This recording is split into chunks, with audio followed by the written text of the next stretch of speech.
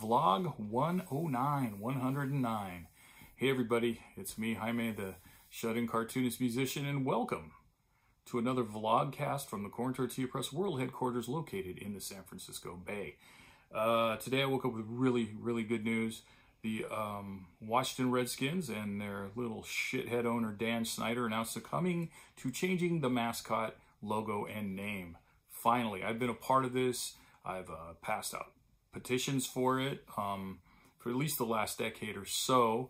And, uh, you know, unfortunately for all of us indigenous folks, as well as non-indigenous people who've been on board with changing this and protesting and so forth, it took the corporations to come in and, you know, drop the hammer of pressure on uh, Dan Snyder, who is the, the primary owner of, of, of the Washington team. Um, I can't believe I'm thanking corporations, but thank you FedEx and whoever else it was, because they said they're taking their names and their money out if it doesn't change. So that's good news. Rumor has it, one of the names that are being considered are the Washington Red Tails.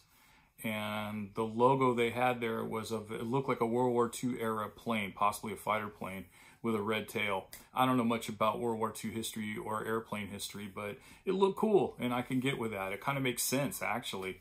Um, but we'll see what happens down the line.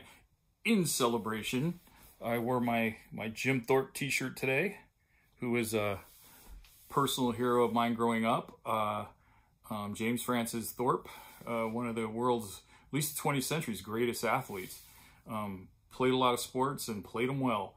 Uh, I really got into him. In, I did a report, I think it was sixth grade, about maybe fifth, but I think it was sixth grade about him. Um, because I remember distinctly being in a classroom with all these kids. I love these kids, but you know, we were all really into sports and I mean, really into sports.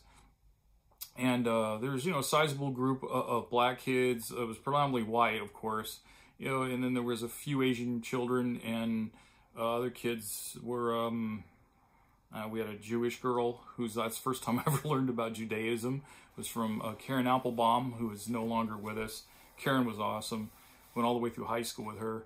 Most of those kids I went through all the way through high school. But uh, yeah, you know, we were watching teams and stuff. We, we, we worshiped all the Bay Area teams.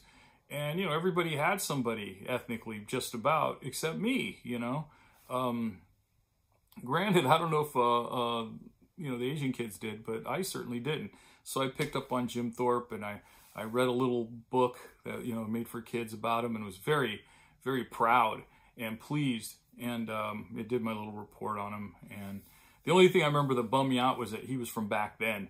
But at that time, though, we I did, we did as, as indigenous people. We had Sonny Sixkiller, who was a quarterback for the University of Washington. And of course, at Stanford, then to be playing for, unfortunately, the very bad back then uh, New England Patriots. Then he played, I think, for the Niners and the Raiders. I can't remember which order. Was uh, Jim Plunkett, who, like myself, he is of of um, of native and Mexican blood. So, yeah, and he's from, you know, San Jose, I believe. He's a NorCal dude. So I was really big into Jim. Jim was, Jim's, Jim's the man. So, uh, yeah, both, notice Jim's, you know, Jim Plunkett, you know, Jim Thorpe. The Jims get it. Jaime, the Jims. So people used to call me Jimmy back then when I was a kid. So there you go.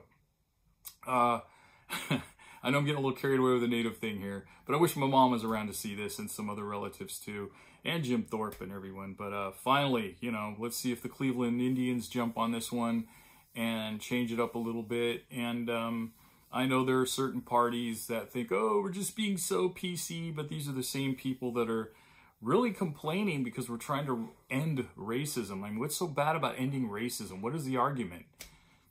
You know, I mean, what's it's no skin off anyone's nose that isn't of this culture that, you know, if you're a white guy and you're like, oh, I don't want to change Washington's name. Why? Why? It's just inconvenient for you. Couldn't get a haircut this month either. Anyway, I'll stop. I'll leave it right there. But I'm very happy today. Yay! And I hope you are too. And I hope you stay happy. And uh, if you have to go out, mask up. Wash them hands. Uh, sanitize them. Both. Do it all keep a good distance away from people. In fact, stay in if you possibly can. But otherwise, be kind to yourself and be kind to others. All right, everybody. Thank you for tuning in. I'll see you next time.